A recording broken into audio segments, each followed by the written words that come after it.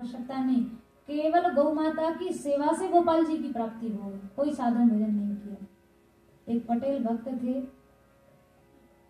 गए जतिपुरा गोवर्धन के राज्य में गोसाई जी की शिष्य हुए। गोसाई जी से प्रार्थना करी, जय जय। और तो कछु जाने नहीं, अनपढ़ आदमी है। आप हमारे योग्य हमें कोई सेवा प्रदान करो। गोसाई जी ने कही, भैया, तू कछु मत करे। तू नाथ जी की गैयन की सेवा कर। श्रीनाथ की गौशाला में पटेल भगत को गौ सेवा दे दी। और पटेल भक्त ऐसे प्राण प्राण से सेवा करवे लगो। रोज उनके नीचे सूखी रेत बिछानो, रोज उनको बहारनो, रोज गाय को सहलानो, रोज खवा के खानो, रोज सला के सोनो, ऐसी सेवा पटेल भगत ने करी। एक दिन बड़ी भयंकर बारिश हुई, बहुत तेज वर्षा।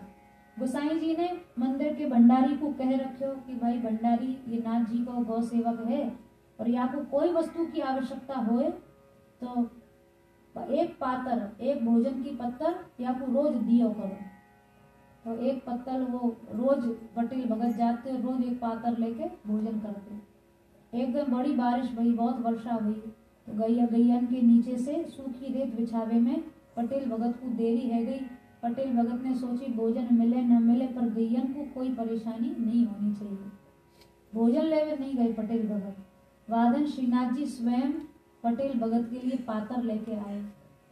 अरे भैया तू आज भूखो है, आज पातर लेवे नहीं गयो नाथ जी पातर लेवे कैसे जाते? बारिश है रही गौ माता को कष्ट हो तो सूखी रेत बिछानी ही। तो ले भैया, मैं तेरे लिए ले आया, तू खा ले।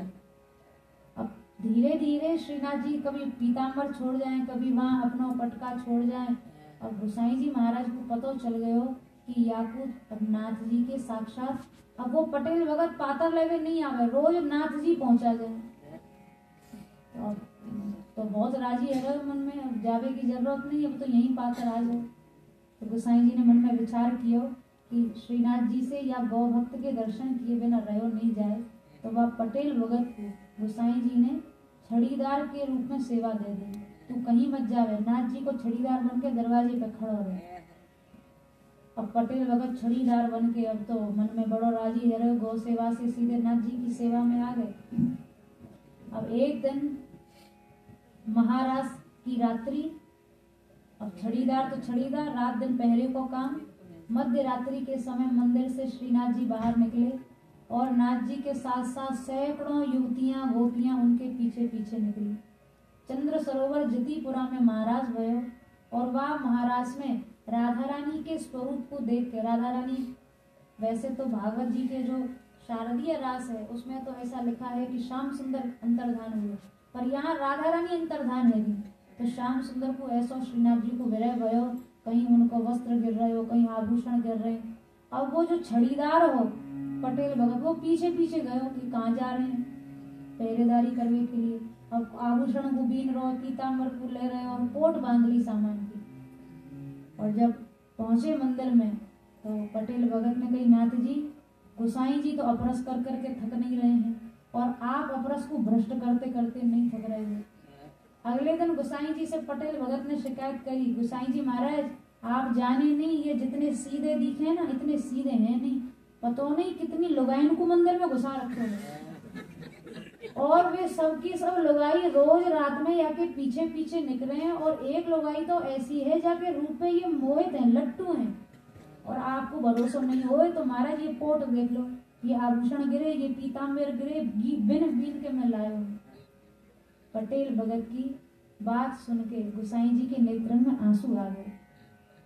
गुसाई जी को मन हृदय भरायो कि या बेचारे भोरे वाले भगत को यह भी नहीं पता कि गौ सेवा के प्रभाव से या उस ठाकुर जी के साक्षात रासलीला को दर्शन मिले वो तो यही सोच रहे हैं कि लगाइन को कहाँ ले गए हो, कौन के पीछे घूम रहे हो, कहाँ घूम रहे हो?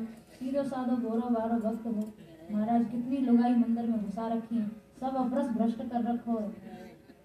गोसाई जी के नेत्र में आँसू आ गए। भगत जी, आप नहीं जानो। गौ सेवा के प्रभाव से गौ सेवा के प्रताप से आपको नाथ जी के नित्य रसमय रासलीला का दर्शन हो गया अब तो पटेल भगत के भी नेत्रन में आँसू आ गए हृदय गदगद हो गया। कोई साधन कोई भजन नहीं। केवल गौ सेवा की भावना से केवल गौ सेवा से साक्षात रास रस में प्राप्ति हो गई। क्योंकि स्कंद पुराण में लिखा कामास्तु वांछितास्तस्य गावो गोपाश्च गोपिका। ठाकुर जी की पहली चहेती वस्तु, पहली प्रिय वस्तु गावो, गैया मैया है, गौ माता है। इसलिए भाई, हृदय में भावना रखो, भावनात्मक रूप से गौ सेवा से जुड़े रहो। कुछ नहीं जाता, आधे घंटा घर में गौ माता की रक्षा के लिए, श्री यमुना जी की रक्षा के लिए कीर्तन करो। हमारी आप सबसे प्रार्थना है। और एक दिन पहले भी हमने आपको कई बार बता चुके हैं, आज भी बता रहे हैं। Save Yamuna dot O R G जो वेबसाइट है, आप उस पर जाएँ पिटिशन साइन करें। जितने लोगों से आप करा सकते हैं, कराएँ, क्योंकि भाई, हम लोग यमुनाष्टक का पाठ रोज करते हैं। यमुना जी को भगवत प्राप्ति का माध्यम मानते हैं, श्री स्वामी जी के रूप में मानते हैं। ये संकल्प करो 108 लोगों से पिटिशन साइन कराएँगे। आपके 108 यमुनाष्टक के पाठ अपने आप हो गए। ये सच्चा पाठ है। कुछ क्रियात्मक रूप से होना चाहिए, केवल पाठों से कुछ होना जाना। हम खूब पाठ करें, खूब चुनरी मनोरथ करें, खूब दुग्धाभिषेक करें। और यमुना जी वहाँ हुए नहीं। यमुना जी के ना होने का हमें कोई दुख नहीं, कोई वेदना नहीं तो ये कोई भक्ति थोड़ी है। भावना से जुड़िए, भावना से। तो युगल गीत के माध्यम से श्री ब्रज गोपियों ने, सुखदेव जी महाराज ने श्याम सुंदर के गौचारण के लिए जाने पर गैया चराने के लिए जाने पर गोपियों की क्या स्थिति होती थी? गोपियाँ क्या चर्चा किया करती थी? उसका वर्णन सुखदेव जी महाराज ने युगल गीत के माध्यम से किया है। आज की चर्चा को यही विश्राम देंगे। समय अपनी पूर्णता की ओर है और कल कथा का विश्राम दिवस है। भगवत कृपा से इस अलभ्य रस का लाभ हम लोगों को मिला है। हम लोग इसका लाभ लें। कल विश्राम दिवस है और कल कथा का समय भी थोड़ा परिवर्तित है। कल 12 बजे से कथा शुरू होगी और तीन बजे तक सब समापन हो जाएगा। तो आप लोग छुट्टी का दिन तो है ही।